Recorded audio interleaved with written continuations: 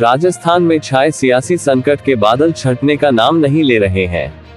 कौन बनेगा करोड़पति की तरह की सभी के मन में एक ही सवाल है, कौन होगा राजस्थान का अगला मुख्यमंत्री?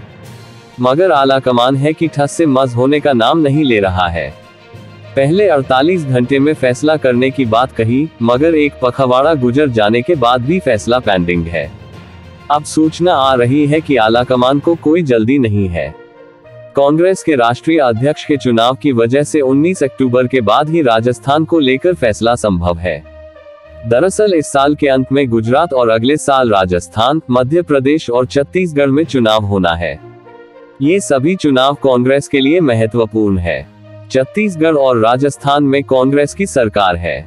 ऐसे में पार्टी दोनों ही जगहों पर चाहती है कि सरकार रिपीट हो।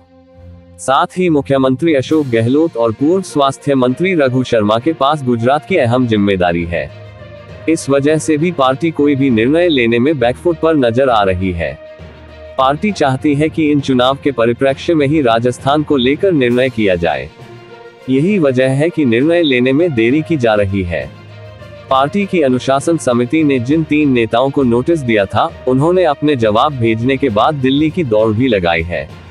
तीनों ही मुख्यमंत्री अशोक गहलोत के नजदीकी हैं।